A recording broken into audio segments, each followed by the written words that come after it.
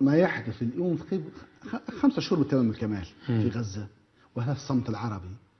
هذا نسميه صمت ربما حتى تواطؤ أصلا خصوصا في معركة الج- الجذب هذه في المفاوضات هذه والتأثير. كيفاش تتابع؟ يعني هذا دليل على انهيار النظام الرسمي العربي فعلا. يعني هذا نتيجة ضعف أو نتيجة تواطؤ أو مزيج من هذا أو ذاك. يعني الآن دولة الاحتلال تقصف وتقتل في المدنيين حرب إبادة جماعية. يعني حرب إبا- إبادة جماعية على الهواء لأول مرة يحصل هذا في العالم.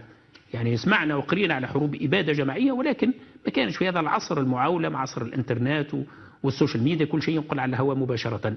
ومع ذلك العالم كله يبقى يبقى متفرجا. ومش هذا. ال- ال- الأدهى والأمر أن بعض الدول العربية متواطئة وقت الآن تقف الشاحنات يعني كيلومترات ممتدة. يعني آلاف الشاحنات. الآن تمتد على في بجانب معبر رفح أو على أبواب معبر رفح. ولا تدخل. يعني شعب مجاور لمصر. بل هو كان جزء من مصر إلى غاية 67 يعني نعم. غزة كانت تحت السيادة الإدارية.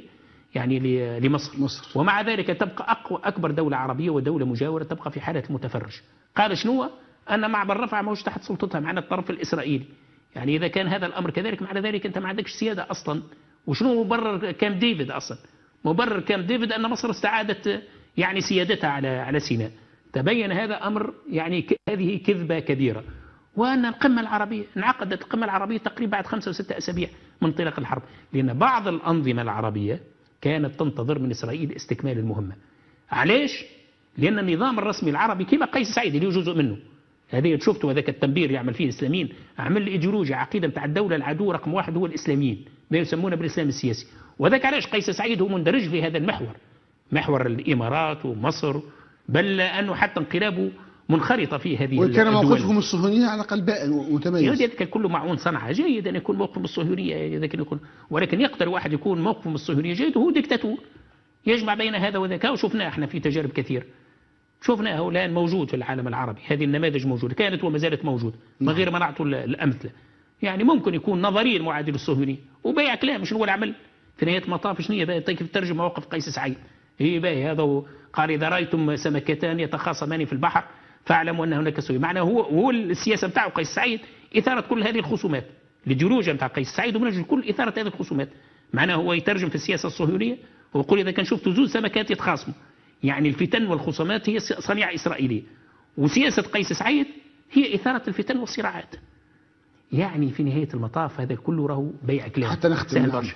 حتى نختم في نهاية المطاف يعني هذا دليل على عجز النظام الرسمي العربي للأسف آه، القضية الفلسطينية نعم يعني تائهة وضائعة لأن العرب تائهين وضائعين يعني لأن العرب تائهين وضائعين ولكن تبقى القضية المركزية هي الق- القضية الأساسية القضية المركزية هي القضية الفلسطينية تجمع قلوب وعقول معناها كل العرب وكل المسلمين يعني ملايين من العرب والمسلمين قلوبهم وعقولهم الآن متجهة آه، إلى غزة.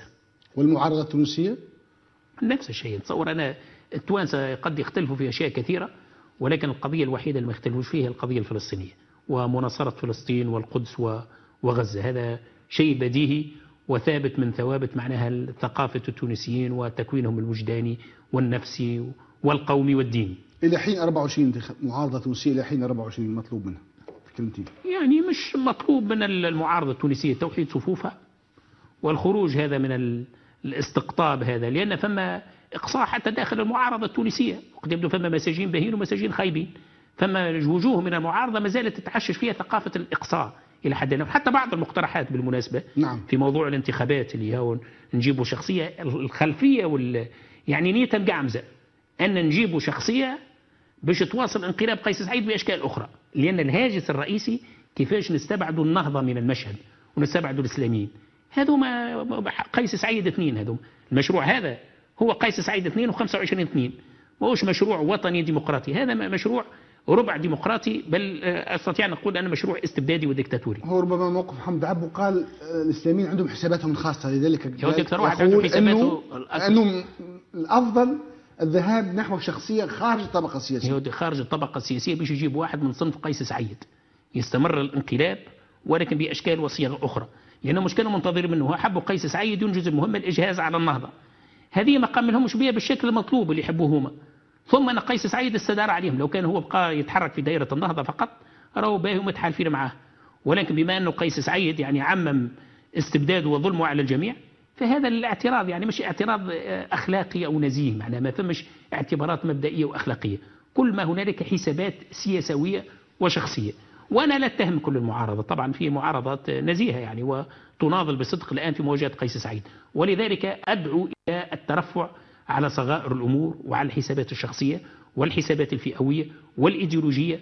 وهذه ثقافة الكراهية معناها والعداء للإسلاميين أو غيرهم أي مكون مكونات السياسية وتوحيد الصفوف وتوحيد الطاقات والأصوات في مواجهة هذه الدكتاتورية السوداء الناشئة التي تتهدد تونس وتتهدد كل مكتسباتها وتضحيات أجيال متتالية لعقود من الزمن.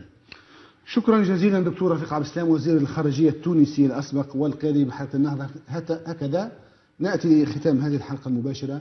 موعدنا يتجدد معكم غدا بداية من الساعة الثامنة نصف مساء بتوقيت تونس. في أمان الله.